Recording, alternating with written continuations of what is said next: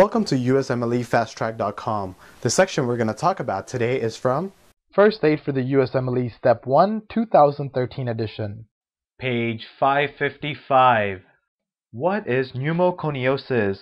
Pneumoconiosis is a type of restrictive lung disease that occurs due to long-term exposure to foreign substances that leads to change in normal lung parenchyma.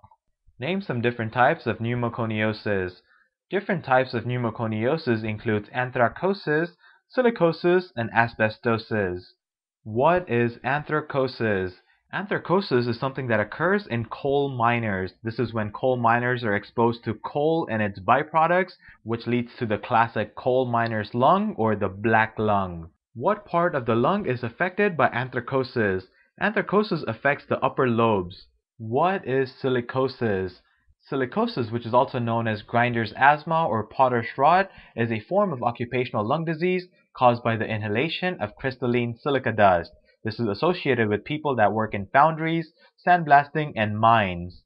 Describe the pathogenesis observed in silicosis. In silicosis, the macrophages will respond to this inhaled silica dust and it will release fibrogenic factors which will cause fibrosis. It is also thought that silica may disrupt phagolysosomes and impair macrophages, which increases the susceptibility to TB. Silicosis is also known to increase the risk of bronchogenic carcinoma. What part of the lung does silicosis primarily affect? Silicosis primarily affects the upper lobes of the lung. What morphologic finding is observed in silicosis? In silicosis, you would see the eggshell calcification of hilar lymph nodes. What is asbestosis? Asbestosis is a lung disease that occurs from breathing in asbestos fibers. It occurs in people that work in shipbuilding, roofing, and plumbing. Describe the pathogenesis observed in asbestosis. In asbestosis, there is scarring of the lung tissue that occurs from inhalation of asbestos fibers.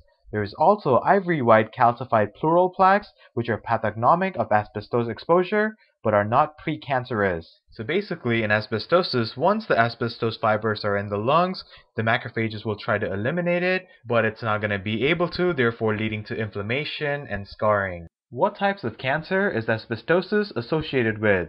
Asbestos exposure can lead to an increased incidence of bronchogenic carcinoma and mesothelioma. Describe the morphologic appearance of asbestos fibers.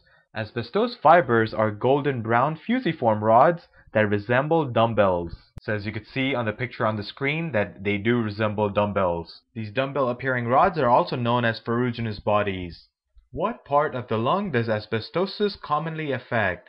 Asbestosis commonly affects the lower lobes of the lung. One additional thing to remember about pneumoconiosis is that with pneumoconiosis, there is an increased risk of cor pulmonale and Caplan syndrome.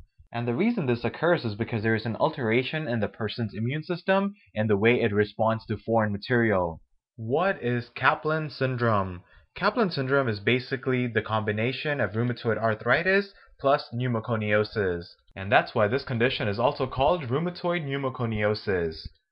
For more information on this topic, click on the link in the description section below. For a full USMLE Step 1 review, be sure to check us out at usmlefasttrack.com where we help you review the entire first aid for the USMLE Step 1 with high quality videos and hundreds of detailed pictures for a better understanding of the material.